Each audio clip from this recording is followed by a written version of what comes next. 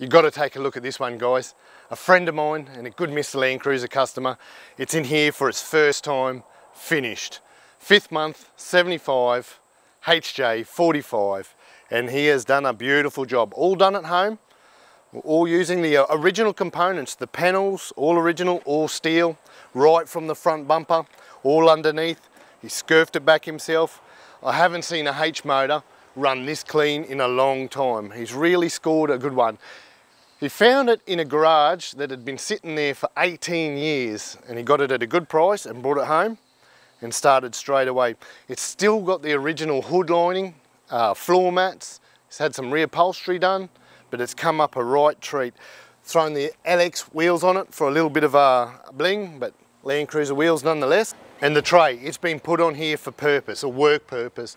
We're actually going to throw a cab on it. Green's got a couple of builds on the go at the moment, so it's not just a show pony. We're going to load it up tonight.